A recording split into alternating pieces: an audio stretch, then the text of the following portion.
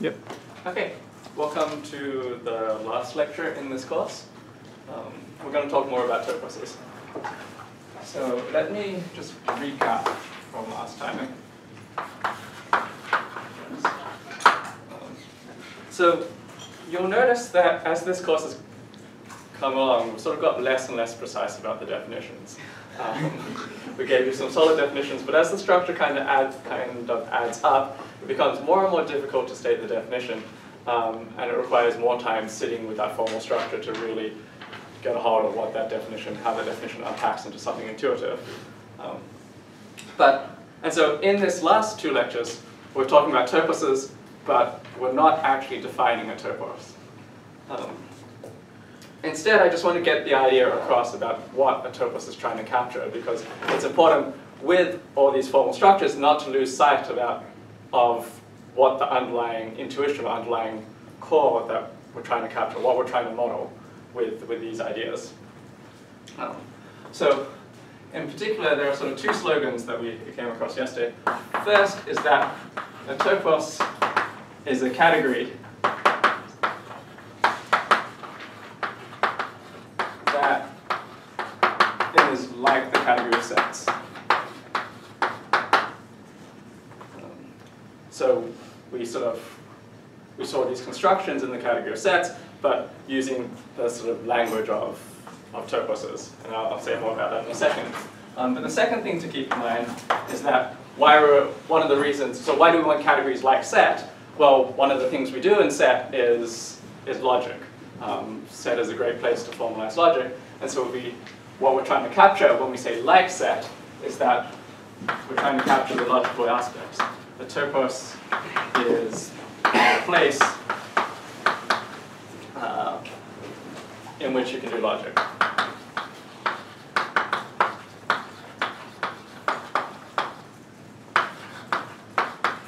Um, and by logic here, I mean more precisely uh, something like first order intuitionistic predicate logic. Um, but well, we'll see that as we go across. So without a definition, we sort of we want to know at least, if not exactly what a topos is formally, what sort of things it has. So, so properties of a topos. Um, and we saw that these include um, these four things. So limits and colimits, toposes have limits and colimits. They have epimonofactorizations. So this generalizes the fact that every function can be seen as an a surjection followed by an injection. Um, they have exponential objects, so um, or David wrote that Cartesian closed, but what this means is there's an object that represents, uh, in the category of sets, the functions, the, the functions from x to y form themselves a set. And so we want that sort of property in a topos. Um, and the last thing um, is, is the subobject classifier. Um, they have include, I don't know, a subobject classifier.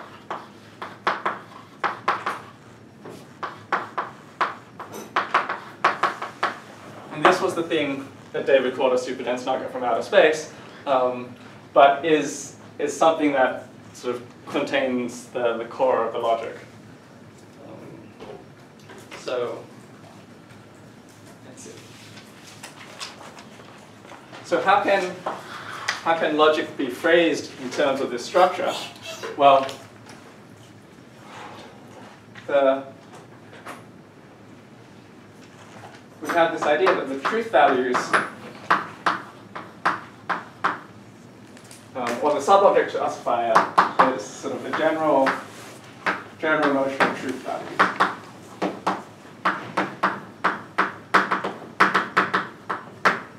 So what do I mean by this?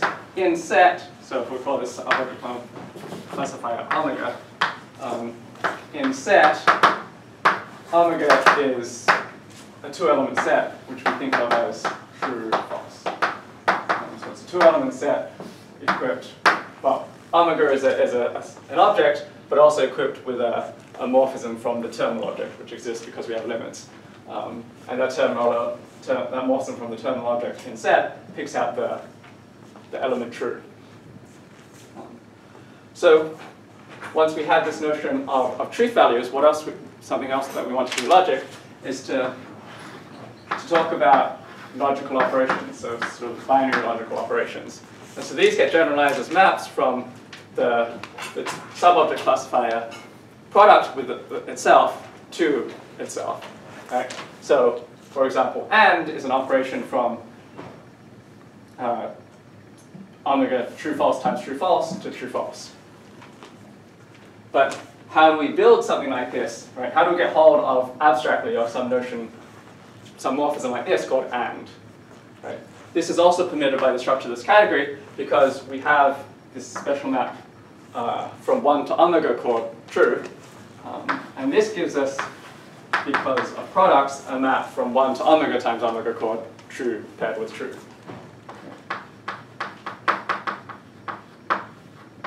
By the property of subobject classifiers, um, a subobject, so this happens to be a, a monomorphism, so it happens to represent a subobject. And maps, a subobject of uh, an object are the same as maps from the object to omega. So this thing which we phrased in the abstract structure that we want every topos to have gives us uh, a special map called AND from omega cross omega to omega.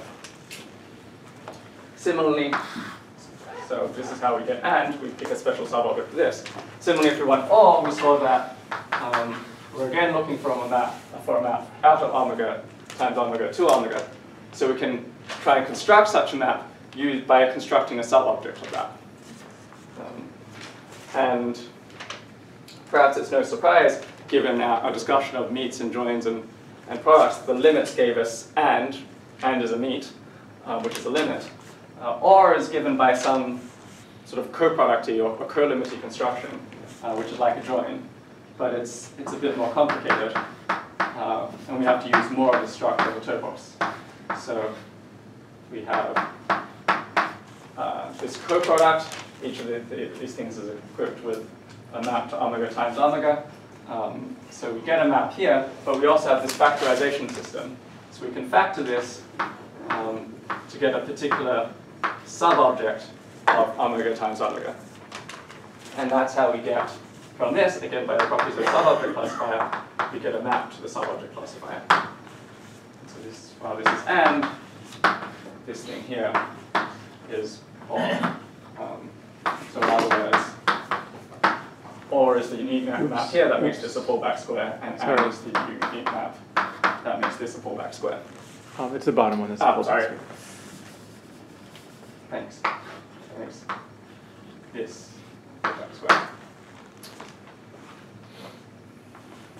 Okay, so if you believe your category has these things, then I can tell you what my your, your truth values are, and I can tell you how to do and, and or, and uh, sort of a whole lot of logical, other logical operations you want. Negation, uh, universal quantification, existential quantification, and so on.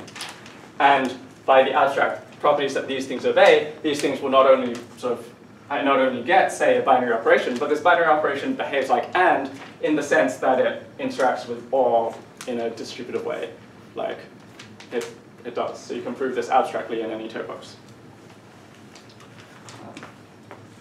So I'm trying to axiomatize a structure that tells me what I like about the category of sets.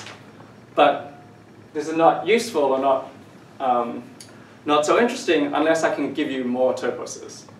Right? It's no point trying to axiomatize uh, a group if the only group that you uh, that exists is the natural numbers. You're not doing group theory, you, would just be doing number theory. Right? Which is not a group. The, what? Which is not a group. Which is not a group.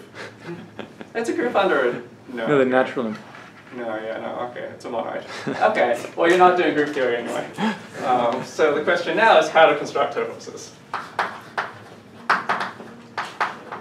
Are there other interesting examples of toposes? Okay. So for this, I'm going to take what may seem like a, a bit of a detour to talk about sheaves. Um, and in particular, I'm going to talk about topological spaces. So I expect many of you know what these are, but I'm going to recap the definition try and make it relate to what we're talking about. So what is a topological space? A topological space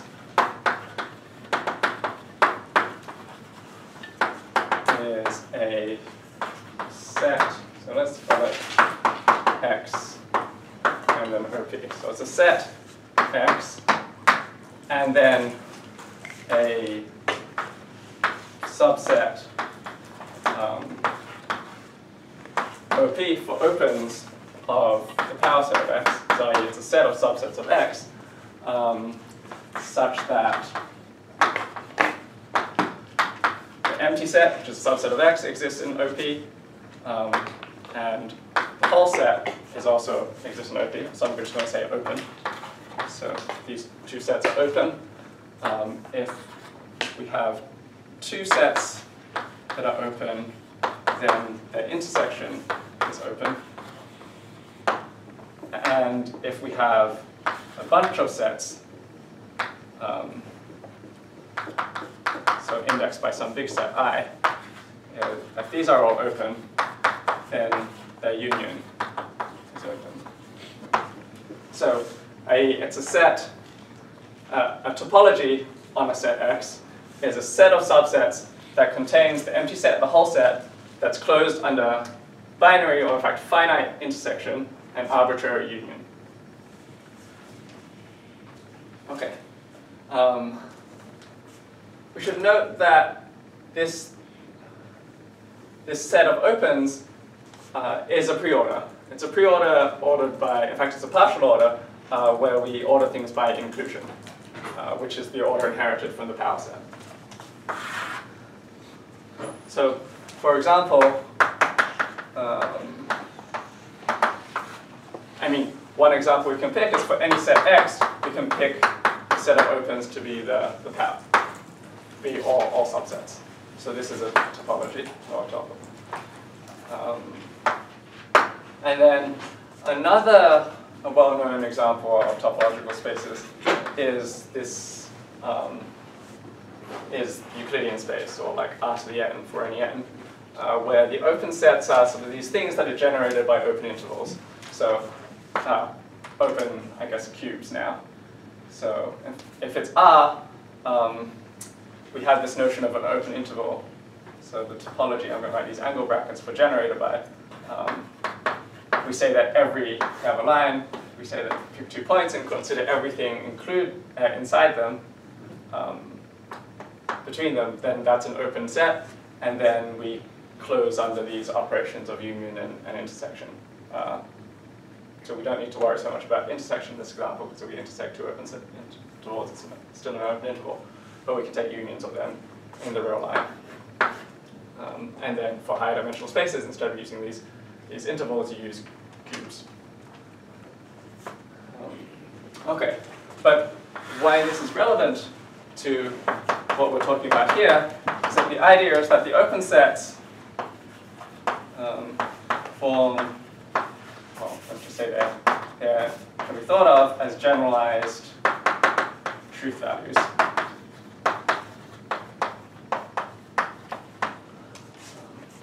So one way to think of this is just that if you have a space, um, this is a space in which sort of queries can live, uh, then you can ask, well, where is something true? And the sort of possible answers to that are just some open set. So this is some open set U inside X. Um, and that's some way you might want to answer questions about, about truth, like where is it raining? It's raining in this area around Boston. But to be a notion of truth value, uh, truth values have more, more structure than just being, um, being there, right? They have more structure than just a set. You can sort of add truth values and or truth values and so on. So how does that play out in, in this world of where our open sets can be thought of as truth values? Well, we have these things, this, this poset here is not just a poset, it has a top element, it has a bottom element, uh, it has meets and it has joins, um, at least finite meets. And so we can use these to think about, we, we've previously seen the analogy between meets and and, and, and joins and or, and so on. And so we, we use that to interpret these things as, as truth values. Um, so you can think of the intersection of two open sets as the asking and, right? If you ask, where is it raining, and the answer is here, and you ask, where is it cold, um, and the answer is there, then in the intersection, it's where it's raining and cold. Um, this logic is, it's not completely this sort of Boolean logic that you're um, used to, and then that's sort of a good thing, because if it had all the same properties of, of Boolean logic, then it would be no more general. Um, the property, one of the important properties that we lose is, uh, what's a good name for it? Law of excluded middle? Law of excluded middle, yeah. Uh, so, um, in particular, let me tell you what negation is. So, if you have um, not u, so you have some open set u, and you ask for not u. So this is a map from the opens to the opens. Um, and what open set should this be? It's the open set, um, it's the interior of interior of x minus u. So I, that, that means that if we consider the complement of u, it's the largest open set contained in the complement. Okay, so uh, let me just move on to this board for a moment. Um, if we have, so why, what is the law of the excluded middle? Well, yeah, okay. Um, one way of stating it is that for, for Boolean truth value is not not, something is equal to that thing, right? If something's not not true, it's true. But you can, this is not the case in this, this logical structure here given by open sets. Right? So if we just take, say, the real numbers, uh, you might notice that if you take the real numbers minus just the point zero, that's an open set. Um, it's the union of two intervals, the positive numbers and the negative numbers. Um, if we take the complement of that, that's um, that's my notation for complement.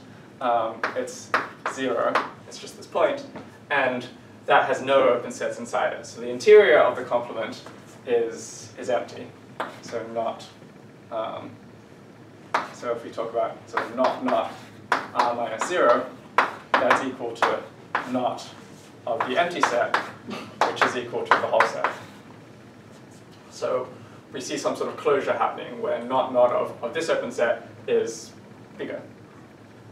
Um, this, this may or may not be a, a bad property of logic depending, or a good property of logic depending on our applications, but uh, it's, it's not sort of as uncommon as you might sort of naively expect.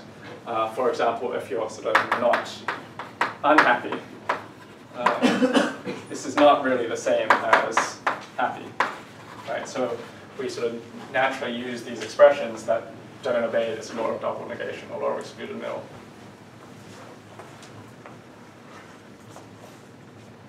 Okay.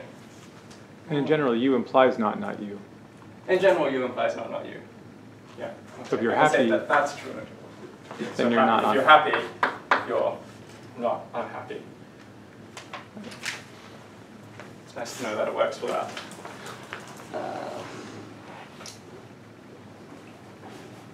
Okay, so the idea of a topological space, or at least the idea of the poset of opens, which um, you might call a Heyting algebra, I guess. Uh, gives us a notion, a generalized notion of truth values. But logic is not just about truth values, right? Predicate logic, or, or the, the logic that we do in the category of sets, also involves like predicates, propositions, things that we can, or, or, or subsets, things that we can evaluate the truth of. So how do we bring that into the picture once we've generalized the notion of truth values? Let me run back over here.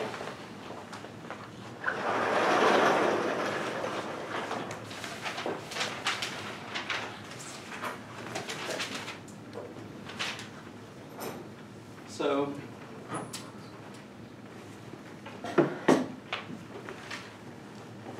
uh, we have, let me give you a string of definitions. Um, first, a pre-sheaf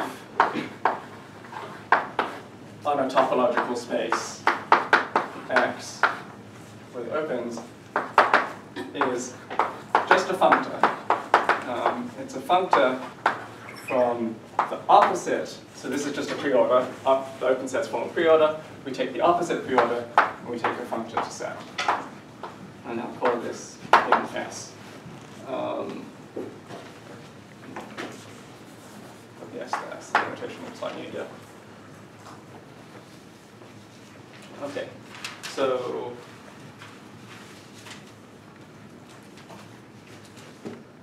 um, so what does this do? It takes every open set and assigns uh, a set which we might think of as the, the possible behaviors or observations that can live on, on that part of our space. Right?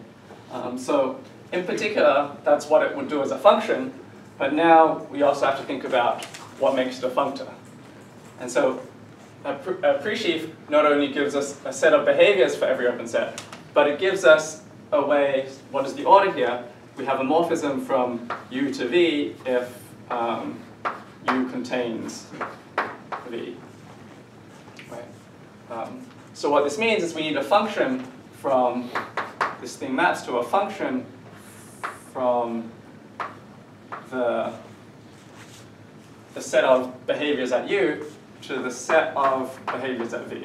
Sorry, this is getting a bit small. Um, and we write that function, if we have some little s in here, we write that function as the image of that function as s restricted to, to v. Right? There's no ambiguity because there's only a unique morphism from u to v. So if we start with an element of s and one to an element of v, sorry, if we start with an element of s of u and one to element of s of v, then there's only a, a unique method we have using this functor. Um,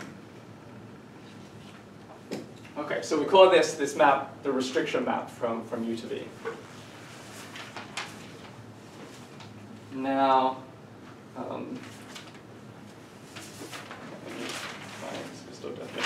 give you. So next I want to tell you what a covering is. So Actually, could you, Hmm? sorry, could you just give an example? give an example. Okay. Like weather or? Sure. Maybe not. Uh, if you have, if you want some example like that, then if you have the globe, say, uh, you can ask sort of what's going on here in terms of weather. And so you'll get, you, you query that space and it tells you, it's sort of, I don't know, uh, it tells you everything that's going on in North America, that might be. Um, but knowing what's going on in North America entails uh, something that's going on in the uh, on the northeast corridor, right? So if you know the weather in North America, there's a function that will tell you the weather in the northeast.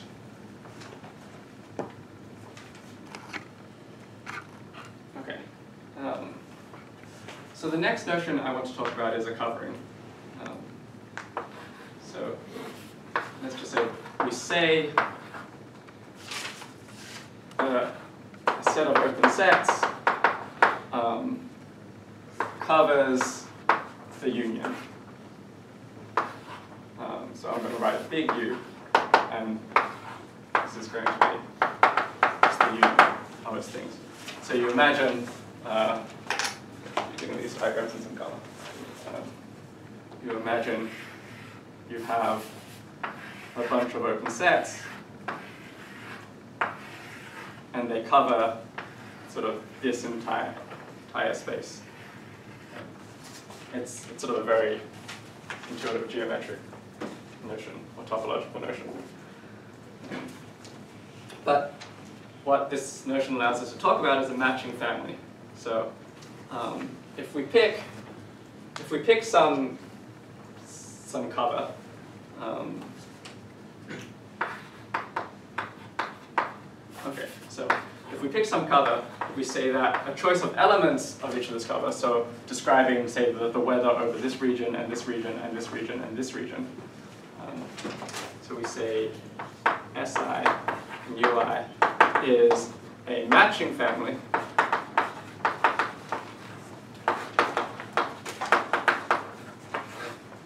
If um,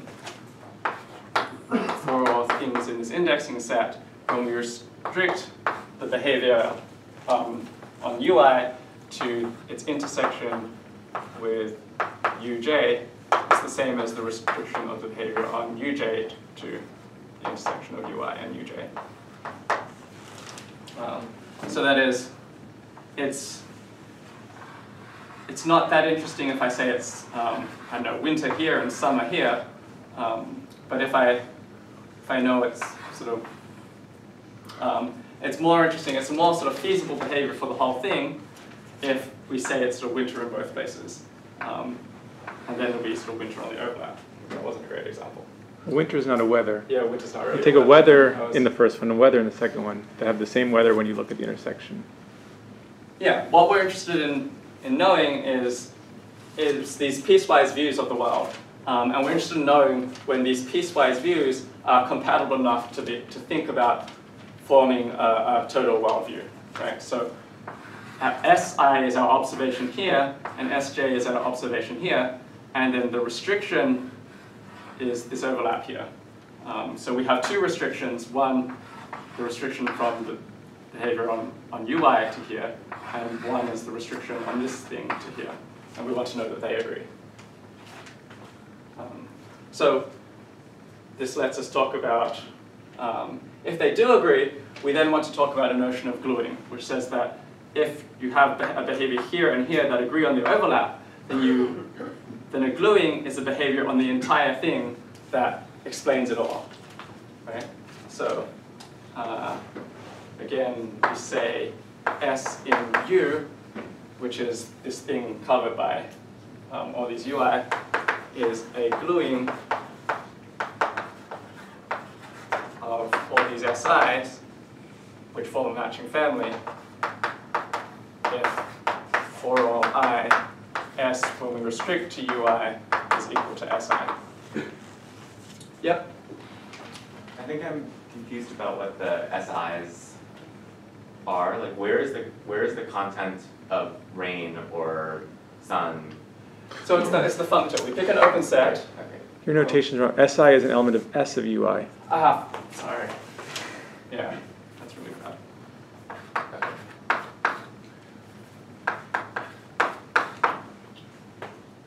Yes, that's all the S's I need to add. Does that help with your question? Yeah, Yes, yeah, sorry about that. Um, Okay, so we had this notion of uh, a set of open sets that match together to sort of cover a space. Then we have this thing of a local assignments to each of the covering open sets that match together. And then we can talk about trying to piece together the local behaviors to a global behavior. Um, and a sheaf says, um,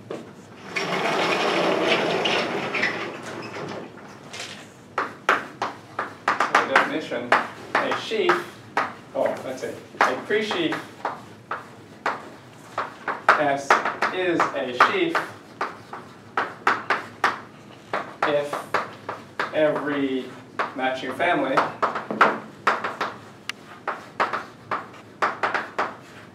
has a unique gluing.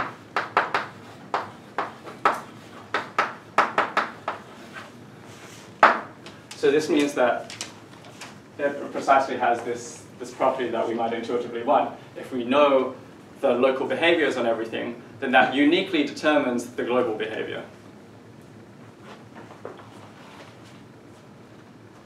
Okay, so after that string of definitions, let me give you a, a simple example.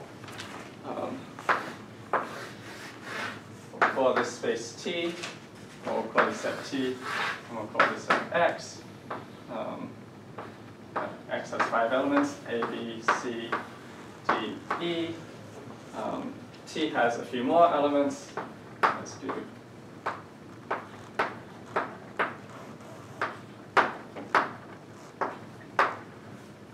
T has apparently 12 elements, and there's a, a function from t to x that just maps things down vertically. So these three points map to A, these four points map to B, nothing maps to C, and so on. Okay. So how do I, I build a notion of uh, sheaf from this? Um, so we're going to say, we're going to take a sheaf on X uh, with the, the discrete topology, so with the power set as its top, as the, its of opens. So in particular, uh, I'm looking for a functor from the power set of x up to set. What is this functor? I'm going to send uh, a subset u of, of x to what's called the set of sections. So this is going to be um, functions s from u to t such that if we do that function, then we do, I'll call this function f, is the identity. So let's unpack that. Um, if AB is, if this is my open set, then uh, a section, so an element of S of U is a, is a way of choosing some elements of T for A and B. So I'm going to choose this element and this element. Um, but I have to choose something in this column because it's got to be the case that I choose, and then if I project back down using F, I get back to where I started with. So I have these three choices for A and these four choices for B. Okay, so what is the restriction map, well what are the restriction maps?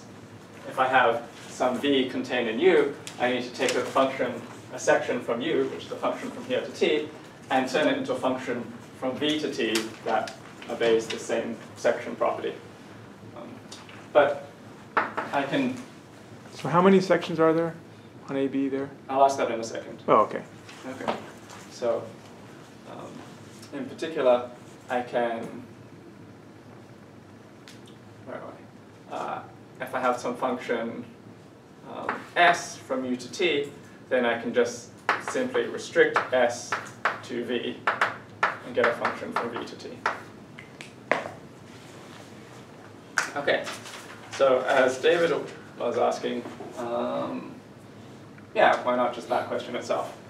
Um, there's been a lot of definitions, uh, so I'll just give everyone a moment to think about um, the question, how many, or sort of, what is, describe um, S of AB. In particular, what is its cardinality, say. And then if, if you want to think about something after that, the question is, I've given you a presheaf, right? I've told it it's a functor, you it's a functor, but maybe you might want to discuss, is S a sheaf? Why or why not? So, find a friend.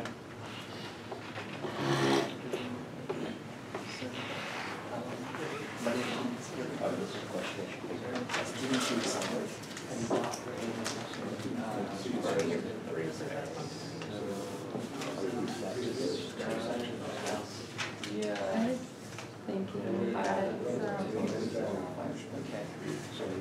um, you could send, you have to send identity somewhere, and then you can tell that anywhere to the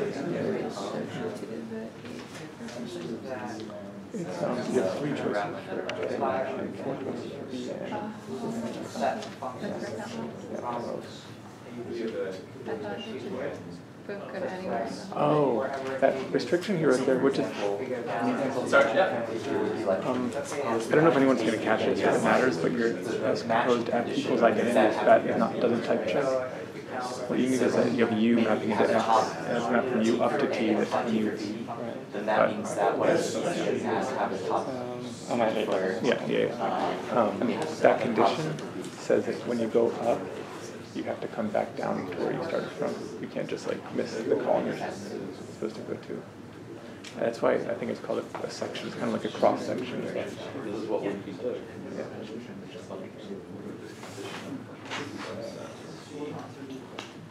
And then we want to know if it's a sheaf, and that means if you take some subset of A, B, C, D, E, and another one, and you've had a way of lifting this one, you have any section you want this one, and any section you want like this one, and they agree on the overlaps, is there a section of the whole thing that matches all of them? It sounds like you're saying yes, or you're either guessing the question or guessing the answer. Oh, I'm understanding the question. Okay, I think I'm guessing the question.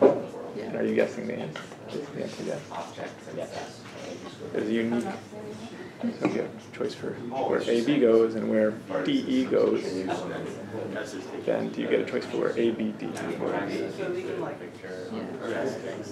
Or if you have a choice for where AB goes and where BD goes? Am I still trying to like? Oh, yeah, okay. If they disagreed on B, that'd be bad. You have one choice and you have another choice, it's like, uh, but if, but it has to, if it's a matching family, so they agree on the overlap, then you can let the whole A, B, C. Yeah, it's not like I'm just working this super fast, I'm not. So it is a sheaf. Is this a general reconstruction sheaf for this book? But not like categories. Sections of the bundle that gives you a sheaf. Every, every sheaf has this word. Are sheaves like that? Yeah, I'll Yeah, no, no extra technical. Well, eh, sorry.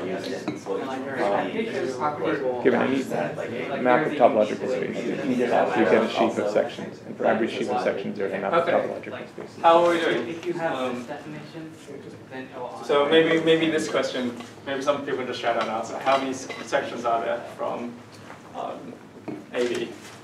Twelve. 12. Right, and so, and so what are they? Right, they're just all choices of pairs of an element from here and an element from here. Okay, so given that, um, we want to know, is S a sheaf, right? So let's, let's first think about what a matching family might be. Um, so if I also pick the open set that contains these two things, um, and I pick the section, so a matching family says for this open set and this open set, I pick elements of the, the sh- pre-sheaf, which means I pick sections. So I pick, pick, say, this section, which maps this the element to this element and this element to this element. Um, is that a matching family? Okay, there's a lot of no's, um, and the reason is that the overlap is, is B, right? So we need to figure out what the restriction of this, this section on AB to B is, and that's just the function that sends this element to this element. We can also figure out the restriction of the, the section here to B, which is the um, function that sends this map to this element to that element. And if you notice, these two elements are not the same. So the restrictions do not agree, and so they're not a matching family. But I could get a matching family by mapping, by considering this section instead. Right? So now I have a, have a section of A, AB, and a section of BD that agree on the overlap, which is just B. So the question is, does this have a unique, um, a unique element, a unique section over the union living over all of this? So is there a section on the union, which is ABD, that restricts to both these functions on AB and BD? And the answer is yes, see, because we've just drawn it, right? It maps A to here, it maps B to here, there's a unique choice um, now, and it maps D to here. So if you make that argument in, in the general case, you see that every, every matching family has unique gluing on here. So this, this thing here defines a sheaf. Um, and it has this flavor of, for here are all our options down here, and these are all the sort of values, the behavior types we could have. So if these were just five places, um, say five cities, and these are the sort of classic weather options at the city, and for some reason city C has no weather. But uh, D is a, a nice enough climate, so it's always like sunny or less sunny. Um, B can be for Boston, because it's mostly terrible at the moment. Uh, it has four different grades of terrible, and so on. Uh, Lee? I just have a question about the definition of matching family. You know, you could have written it uh, S sub K. So if you wrote it as S sub K, are you implicitly saying um, that the U, U, the U, the UKs are all the open sets, or a matching family could be SKs of S of UKs for some restricted set Are you talking about a matching family as something pertaining to the whole topology? Ah, so you- oh, okay. I guess, did I? Which way? I mean, you can do Um, it. It's just a collection of some open sets. Some, some of us. It's just actually all of them. So those are different IJs and Is. Um, this is for all ij and i. He's fixing up above the UI, If you- I mean, it's, if you use a K, what's the K quantifier? that capital I. It says K. There's a capital I there. He's looking at UI with I and I. He's fixing some. Oh, some, in I, in capital I, Yeah. some index set. Yeah. Yes. So here, he, over in this example, Yeah. the red thing was I one and the green thing was I two and the I was a two element set. It doesn't have to be for the whole space. No, it doesn't have to be for the whole set. In fact, it's a much stronger condition because it doesn't have to be for the whole space, right? We have to, it must have this structure which has to be down. Okay. So another a quick example um, is is say the sheaf of sections of a tangent bundle. So um, if we have some place, we seem to be in a very weathery kind of mood. So let's pretend this is a globe. Um, to each point in the globe, we have a set of a tangent space, right? This works for any manifold. Um, but to every point, we have a, a set of vectors that say that um, the wind can be blowing this strongly in this direction at this point. Um, so we have this sort of, for each point, we have this set of vectors, and then there's a, a map. Or we have all these vectors, all these which form the elements of this set here, and this map down to this the underlying M for manifold, but this underlying globe says sort of which point on the globe is this tangent vector attached to.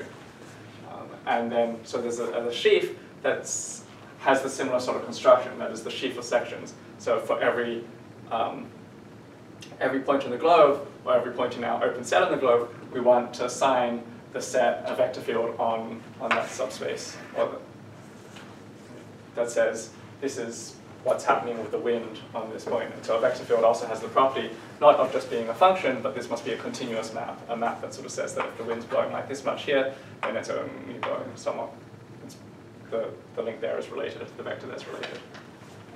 Um, yeah. Okay, So you're saying vector fields form a sheaf. yes, I'm saying vector fields. All vector fields form one sheaf. sheaf. Right.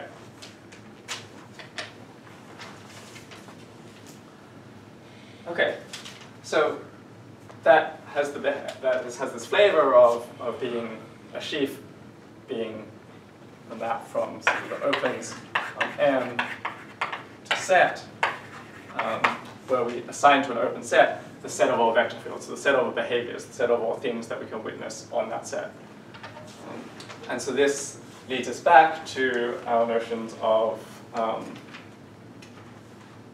I guess, behavior type and, and then logic. So.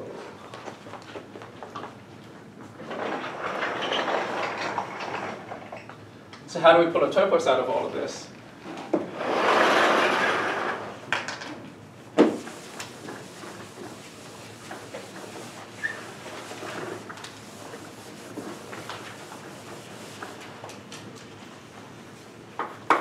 So definition, um, given a topological space,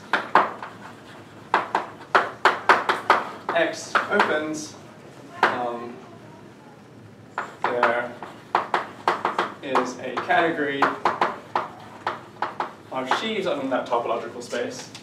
So there is a category which I'll call sheaves on X, which has as objects sheaves, so i.e. their functors from an object to set. Um, and the morphisms are just natural transformations. So these things are functors, so we can talk about natural transformations between these functors. And so this thing was a category. Um, the theorem that says that these things are always toposes.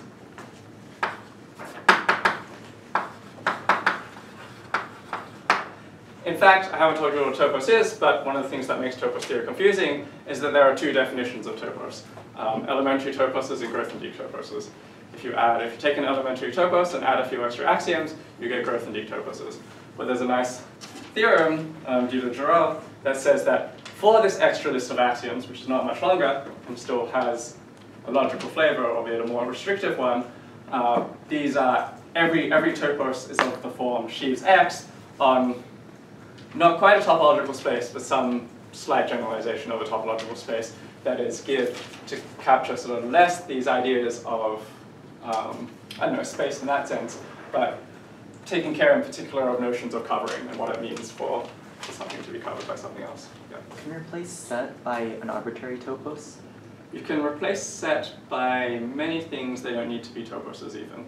Um, so in algebraic geometry or something, you No, want to and get a, consider- he means and get a topos. Oh, and get a topos. Yeah. Uh, yeah. Mm, Wait. You replace that with any topos, forget topos. Shape, you can replace set with any topos and get a topos, but you can't replace it with like Abelian category and always get a topos. Yeah. Okay. Yeah. So yeah.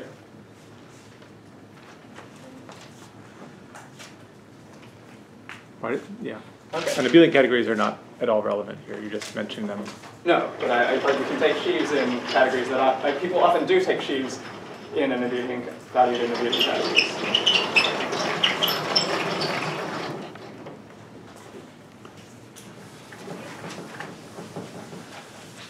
So I've just erased the word sub-object classifier, um, but one question you might have is if sheaves X is a topos, what object is the sub-object classifier? We've said that this is a really important object in a topos.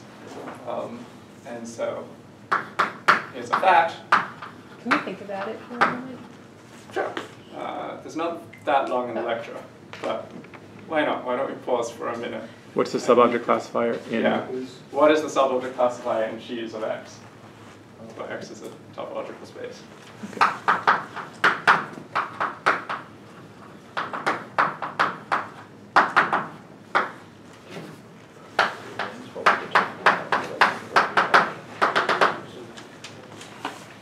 Any guesses, maybe?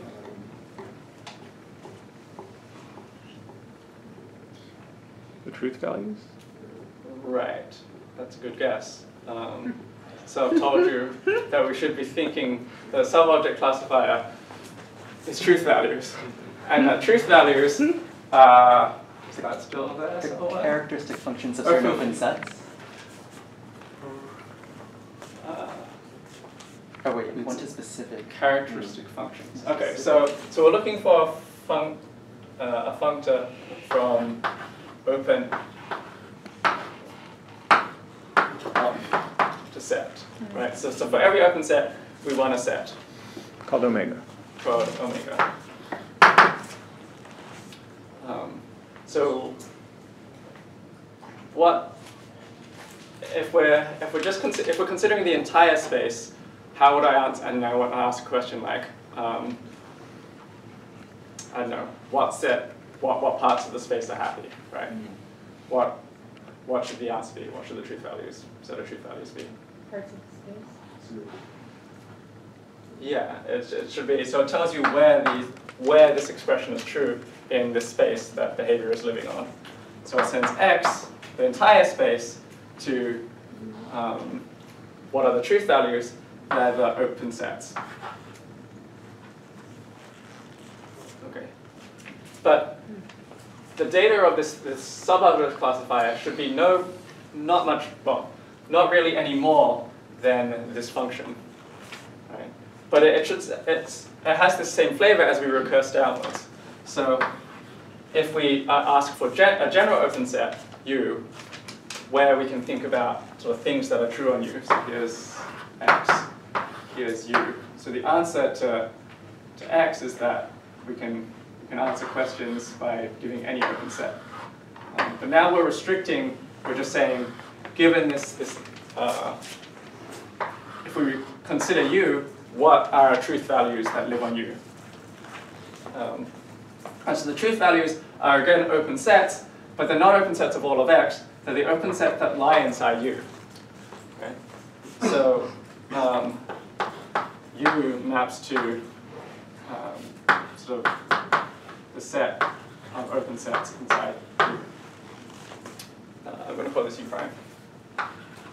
Uh, but I need a functor, and so I, if I have some sort of, if I have some statement, um, where is it called on, on X, and the answer is to that is that, but then I say, actually, let's restrict attention to U, um, and where is it called on U? Well, the answer to that is just given by the intersection of U and the set of called places.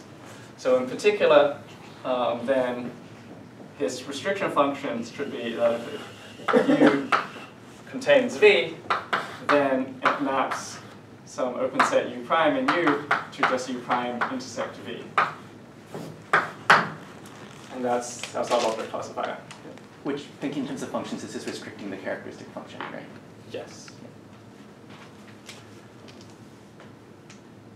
Okay, so now I've told you that sheaves X on a topological space always forms a topos.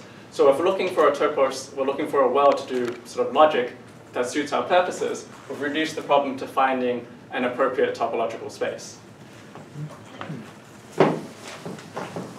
So going back to this example of, of temporal behaviors that David began the, the lecture with yesterday, we want to find um, uh, a topos to work in to answer and reason about that sort of subject. We need to find a topos or topological space where the open sets somehow represent answers to questions about time. So one answer you might suggest is just the real numbers. Um, so you can ask a question, sort of, when does something, I don't know, when is the machine working? And it returns uh, an open set, so an interval, oh sorry, a subset, an open subset of the real numbers. But that's not quite enough because that's very instantaneous. And if you ask sort of, when is the machine working and it returns these points, um, you don't get a sense of, I guess, duration. All right, it's, it's much better to say that the machine is, you get much more information if your, your truth values can say the machine was working from 2 p.m. to 3 p.m. or something like that. Um, so instead, uh, what happens to be good for working with and reasoning about temporal behaviors is to use the interval domain. So definition, um, the interval domain IR is the topological space where the set is, um, the underlying set is real numbers. Sorry, no. The underlying set is um, the set of closed intervals. Is that what I want to say? Yeah, so I'm going to write du, um, where d is less than equal to u. So it's little pairs where one number is less than another. And then the topology um, is generated um,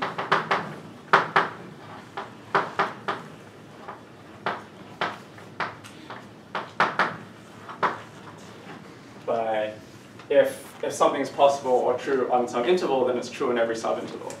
So it's generated by this, uh, these open sets of U, A, B, which contain uh, the set of all uh, intervals such that A is strictly less than B is strictly less than B. So we pick two points, and the, an open set is the set of all intervals that are strictly contained between those two points. Um, so just to close, um, now that we have a, a topological space where the truth values capture some sort of intuition of what we want, we can build the topos uh, of sheaves on this topological space. And then in that topological, in that topos, uh, we can write sort of logical expressions. So we can write sort of predicates that say like, um, I might cut this short, but for all times in, so this is some object in the topos, um, which you can in fact define in any topos called the real number object.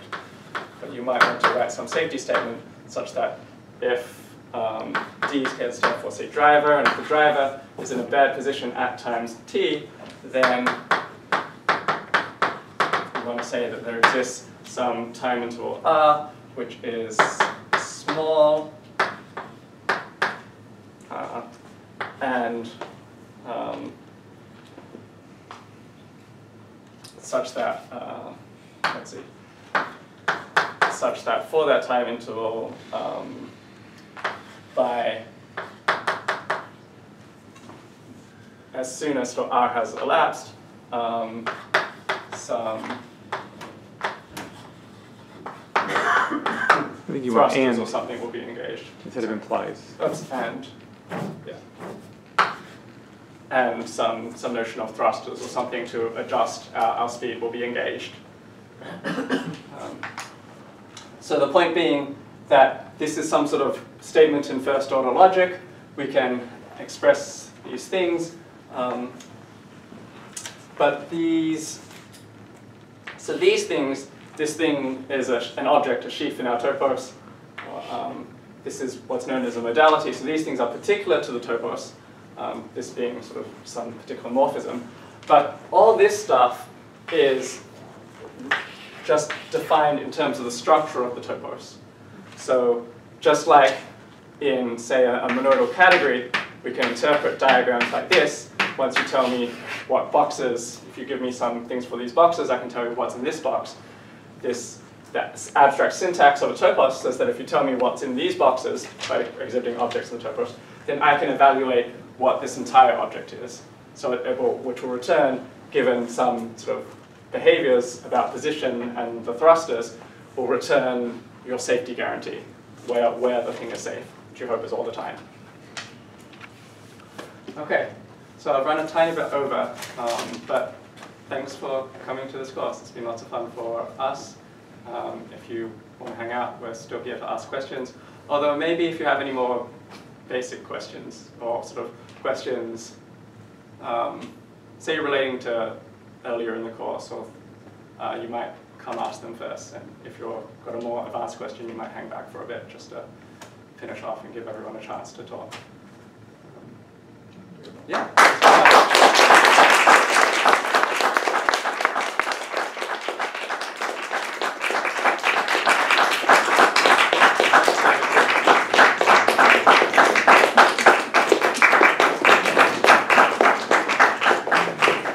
Thanks, everyone. Do now and present one more. One more, one more sketch, yeah. Um, Yeah, please uh, let us know if you have any questions going forward. We're, we'd like to build a community around applied category theory, so if you have ideas for projects or, um, yeah, just, we're, we're here. We want to hear from you, so, yeah. Yeah, thanks, everyone. Yeah, thank you.